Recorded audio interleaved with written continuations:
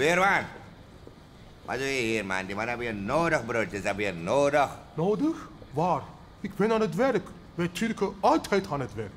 Wel, dan kan je liever naar het Centraal Station gaan, want daar is er pas werk aan de winkel. Station, wat bedoel jij, buurman? Ik knip geen kaartjes.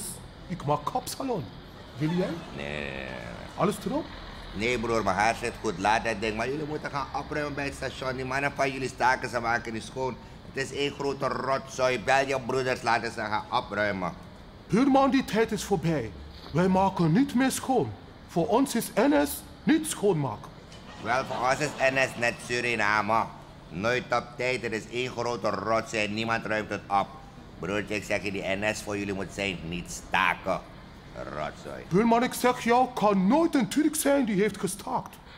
Hoezo? Wij Turken altijd aan het werk. Dus Jij kebab?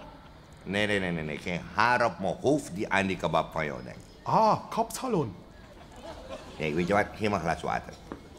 Is goed. En zet het op mijn rekening. Ach, buurman.